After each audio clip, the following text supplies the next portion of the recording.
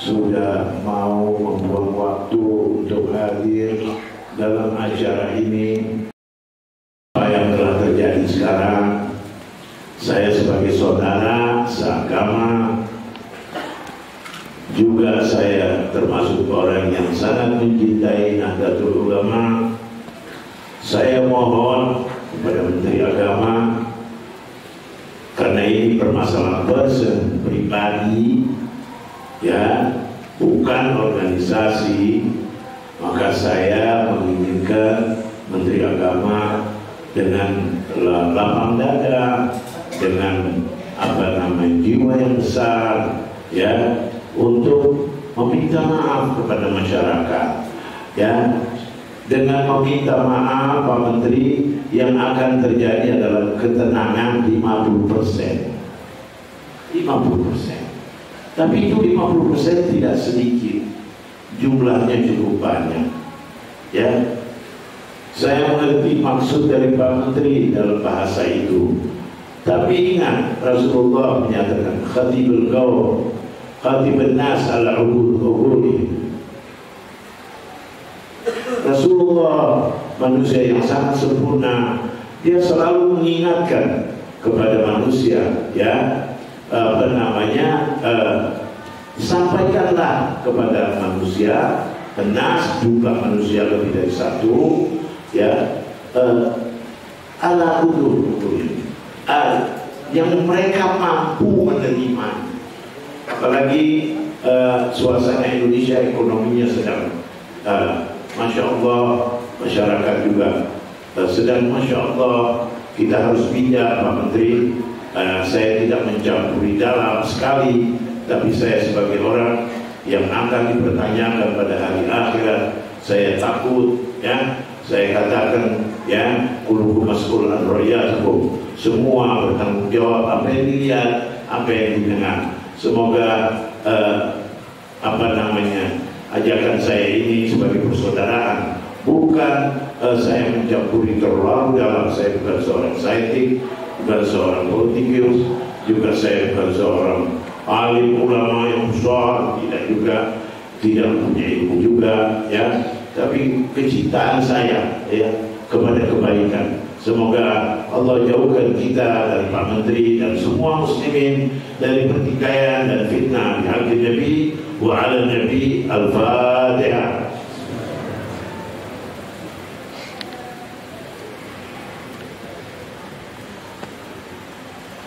Alhamdulillah kita sudah mendengar uraian-uraian dari Habib dua Habib tentang Mi'raj Nabi. Tidak ada satu manusia tidak tidak mengagumi keberangkatannya Nabi pada malam hari dari rumahnya Sayyidati Ummu Hani binti Abi Thalib. Tidak tidak ada seorang yang tidak mengagumi. Ya. Para pemikir-pemikir Amerika, Eropa, ya, pemikir dunia tentang sains, tentang pengetahuan, tentang uh, astronom, tentang awal-awal mereka selalu tidak menerima. Setelah mampu pesawat itu menerbangkan dari satu negara ke negara lain, mulai lesu hati mereka. Mulai astronom bisa naik ke langit, mulai menyatakan kebenarnya, kebenarannya Nabi Muhammad. Ilmu Mi'raj ini adalah ilmu para cendikiawan dalam ilmu analis, dalam ilmu uh, apa namanya ilmu mekanat mekanati ya ilmu tentang listrik tentang mesin ya semua para cendikiawan hari ini mengagumi kebenarannya dari Muhammad. Tidak ada yang menjawab. Tidak ada. Ya. Semua perihal yang ada di dalam Quran mereka sekarang menerimanya para para orientalis. Kalau ada satu orientalis karena itu mungkin ada pengetahuan yang dia belum dapati, belum dia teliti, sehingga dia membicarakan sembarangan. Ya, kebenarannya Nabi Muhammad sudah dibuktikan.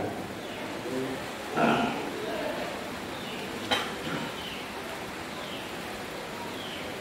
Allah mengagumi sebagaimana yang tadi disampaikan oleh Dai dari Fakir dengan ucapan Subhan.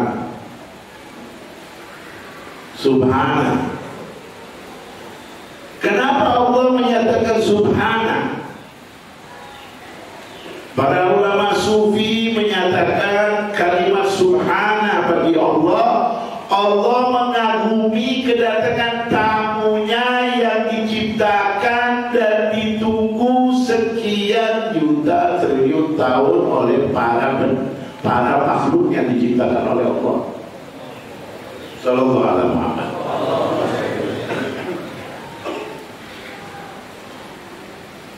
Saya mulai dengan Nabi Adam alaihissalam. Nabi Adam dititipkan cahaya Nabi Muhammad di jabhatnya Qala Habib Ali bin Hasan al-Abbas ya. Basajadu malak malaikat illa iblis aba wastakbar wa kana minal disuruh sujud. Ya. Ibnu Hajar katakan sujud kepada cahaya yang Nabi Adam cahayanya Rasul yang ada di testanya Nabi Allah. Tidak mau dia menolak. Ya. Fastabara lalu dia menunjukkan kesombongannya, dia menjawab. Ya. Di sinilah awal pendidikan seorang murid harus taat kepada guru. Awal pendidikan. Malaikat akan menjadi muridnya Nabi Muhammad.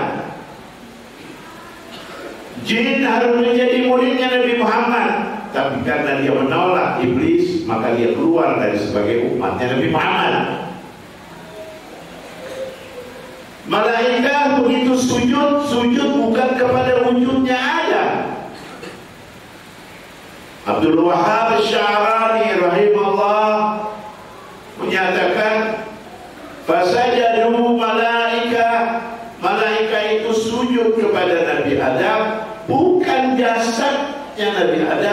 bukan ruhnya Nabi Adam tapi cahayanya Nabi Muhammad yang dititip oleh Allah di jabhatnya di testanya Nabi Adam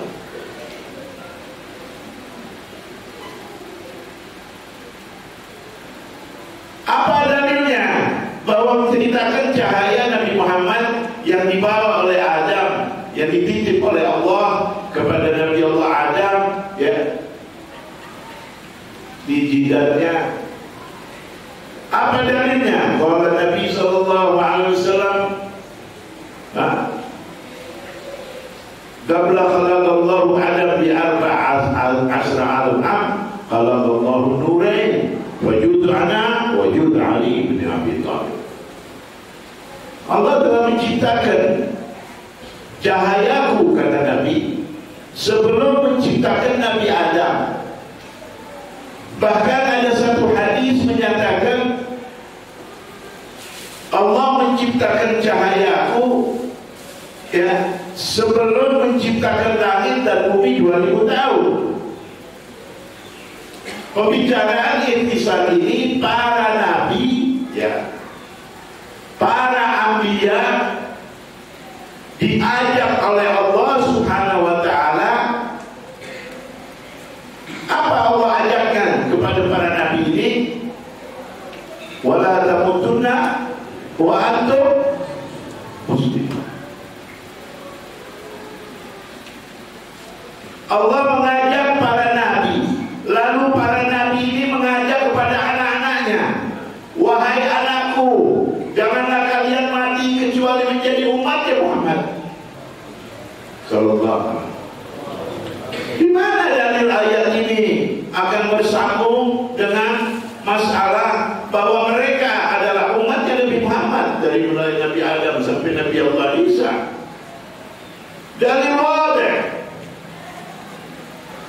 Para ulama sufi menulis.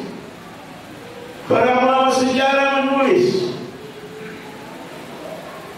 Al-Hadith di mana sallallahu alaihi wasallam pada hari kiamat semua manusia tidak terkecuali dari Nabi Adam sampai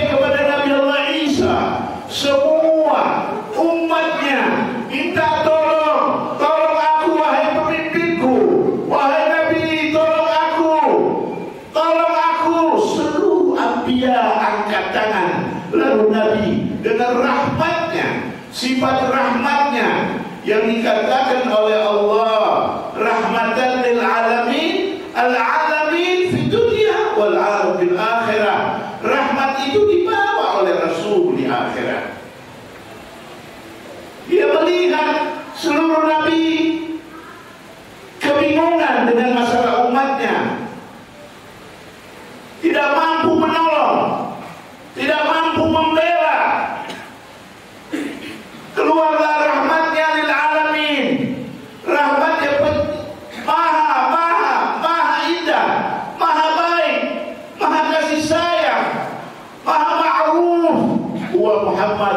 Nabi Muhammad berdiri di depan para abia di depan para umat yang tidak ada yang tahu jumlahnya. Nabi menyatakan Analaha Analaha Wahai para Nabi Serahkan kepada aku Biarlah aku yang tanggung jawab Akulah yang pikul Kata Nabi Muhammad Luar biasa Era Ini Mi'raj ini Adalah Cerita yang sebenarnya adalah Seluruh Nabi Dari mulai Nabi Adam selalu ada doanya. Ada doanya dari Nabi Adam sampai Nabi Allah Isa. Ya, di mimbari ismuhu Ahmad. Ya, akan datang seorang Nabi setelah aku namanya Ahmad. Jadi mereka udah tahu kan? Udah tahu. Nah ini para abiyah dari mulai Nabi Adam sampai kepada Nabi Isa. Ya, Setiap mau meninggal Apa dia katakan Ya Allah Aku sudah mulai sakit Aku lemah Ya Allah Jangan cabut aku. Jangan ambil aku. Sebelum aku melihat Muhammad. Allah. Allah katakan Aku akan ketemukan kalian Dengan Muhammad. Kalau begitu La ilaha illallah. Menikah Nahya wa lana mudah insyaAllah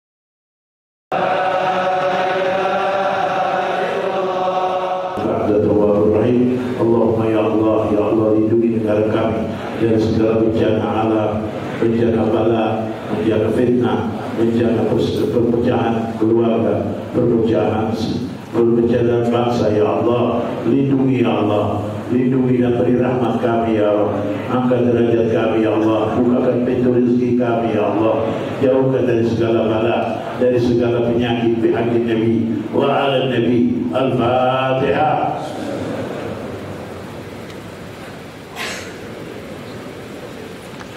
السلام عليكم ورحمة الله وبركاته.